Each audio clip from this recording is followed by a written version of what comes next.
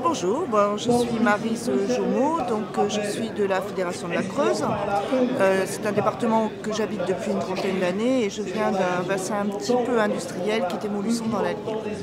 Donc mon parcours, ben, en fait, moi j'ai un papa qui était communiste, je pense que j'ai quand même eu une culture un petit peu à ce niveau-là, c'est un ancien résistant, etc.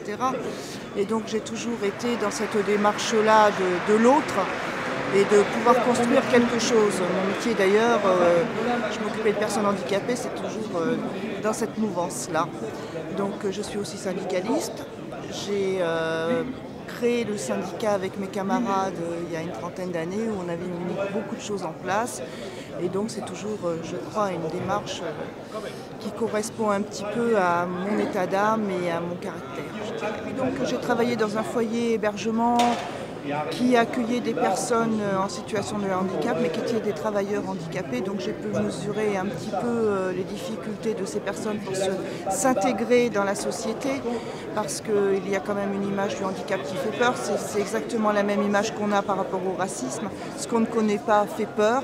Et donc il, y a, il faut faire tout un travail pour essayer de, faire comprendre, d'accepter ces différences. Et c'est quelque chose qui me tenait beaucoup à cœur et je me suis beaucoup investie. Alors mon rêve par rapport à ce congrès, c'est qu'enfin on trouve une, une base claire pour euh, le, mieux de la population.